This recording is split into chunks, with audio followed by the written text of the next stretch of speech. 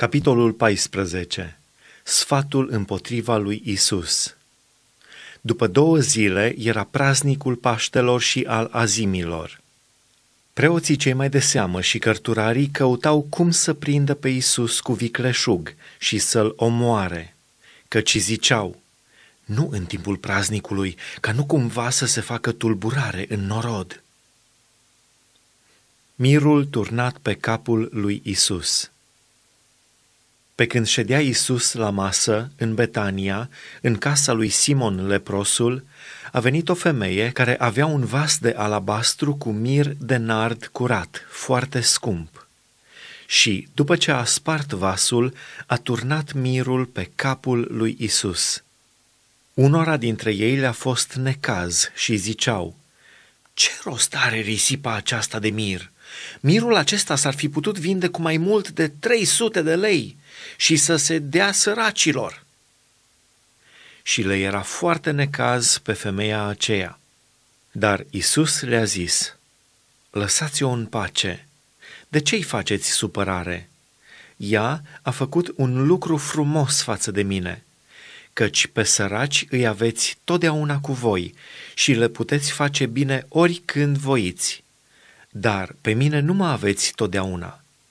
Ea a făcut ce a putut mi-a uns trupul mai dinainte pentru îngropare. Adevărat vă spun că oriunde va fi propovăduită Evanghelia aceasta, în toată lumea, se va istorisi și ce a făcut femeia aceasta spre pomenirea ei. Iuda, Iscariotianul, unul din cei 12, s-a dus la preoții cei mai de seamă ca să le vândă pe Isus. Când au auzit ei lucrul acesta, s-au bucurat și au făgăduit bani. Și Iuda căuta un prilej nimerit ca să-l dea în mâinile lor. Prăznuirea Paștelor În ziua din tâi a praznicului azimilor, când jertfeau Paștele, ucenicii lui Isus i-au zis, Unde voiești să ne ducem să-ți pregătim ca să mănânci Paștele?" El a trimis pe doi din ucenicii săi și le-a zis, Duceți-vă în cetate, acolo aveți să întâlniți un om ducând un ulcior cu apă. Mergeți după el.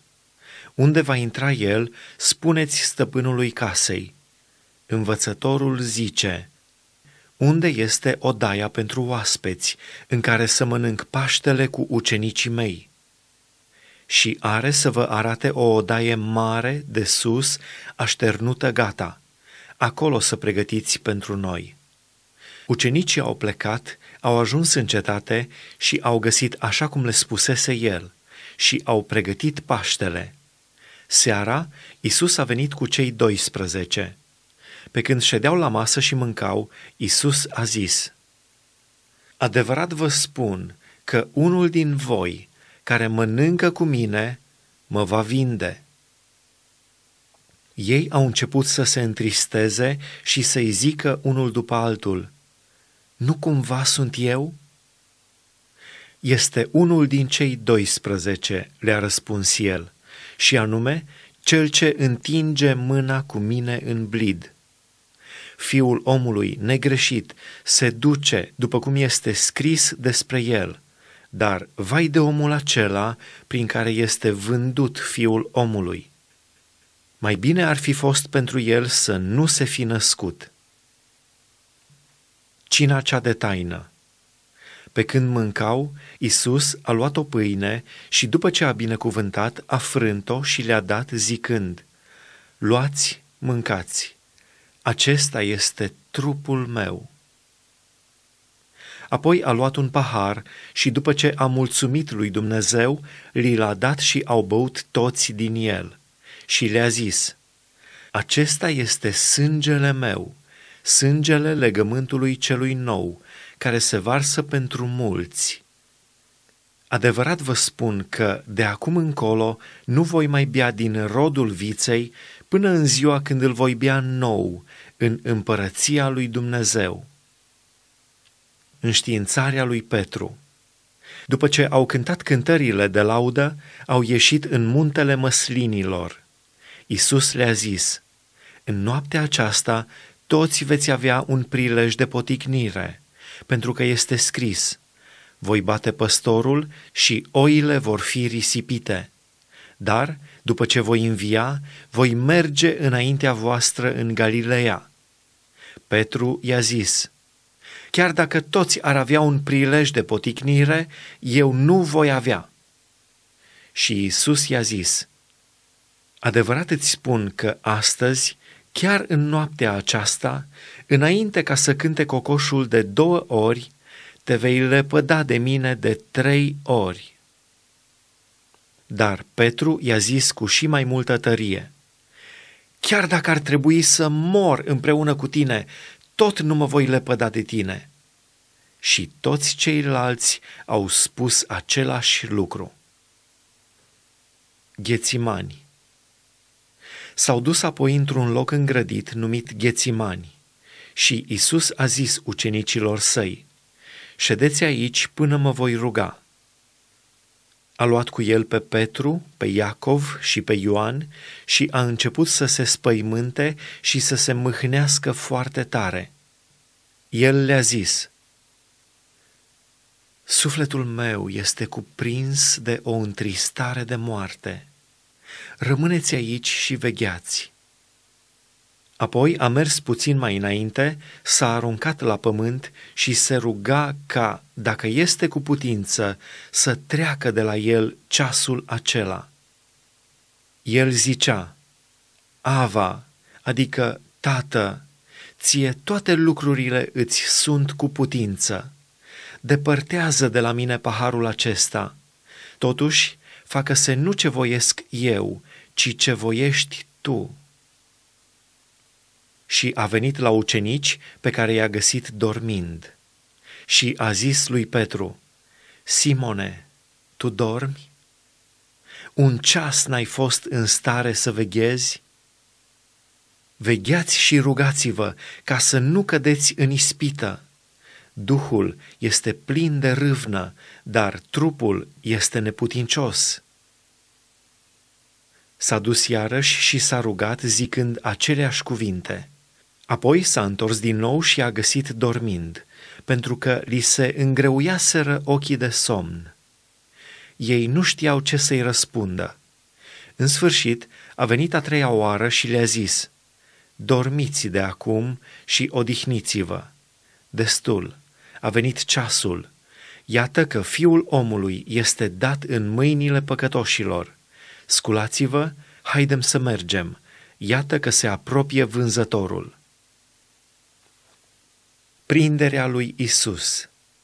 Și îndată, pe când vorbea el încă, a venit Iuda, unul din cei 12, și împreună cu el a venit o mulțime de oameni cu săbii și cu ciomege, trimiși de preoții cei mai de seamă, de cărturari și de bătrâni. Vânzătorul le dăduse semnul acesta, pe care îl voi săruta, acela este, să-l prindeți și să-l duceți sub pază. Când a venit Iuda, s-a apropiat îndată de Isus și a zis, Învățătorule, și l-a sărutat mult. Atunci oamenii aceia au pus mâna pe Isus și l-au prins. Unul din cei ce stăteau lângă el a scos sabia, a lovit pe robul marelui preot și a tăiat urechea. Isus a luat cuvântul și le-a zis – Ați ieșit ca după un tâlhar, cu săbii și cu ciomege, ca să mă prindeți. În toate zilele am fost la voi și învățam pe oameni în templu și nu m-ați prins.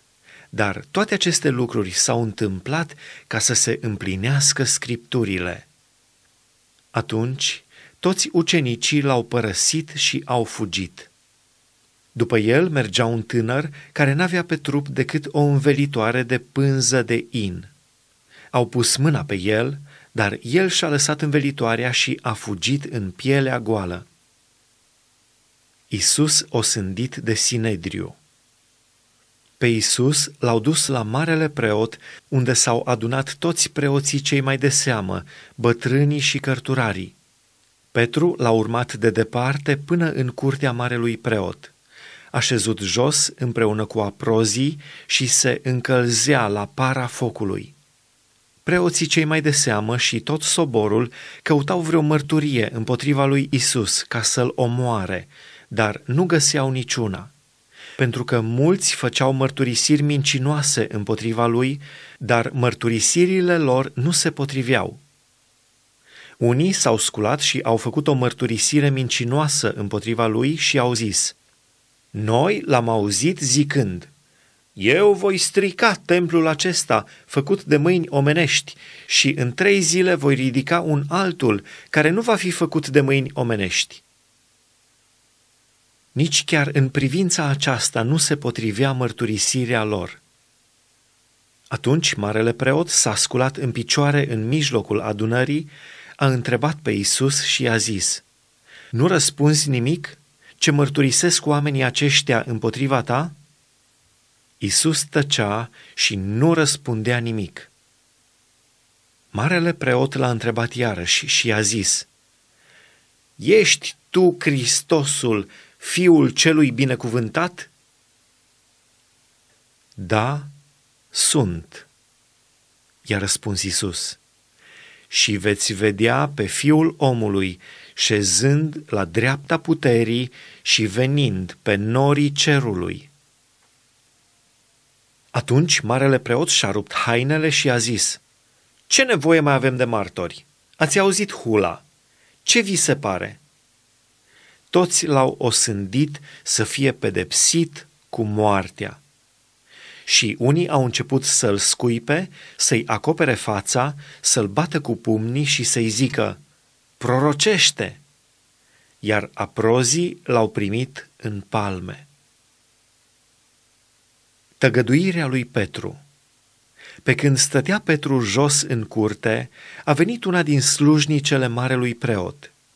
Când a văzut pe Petru încălzindu-se, s-a uitat țintă la el și a zis – și tu erai cu Isus din Nazaret.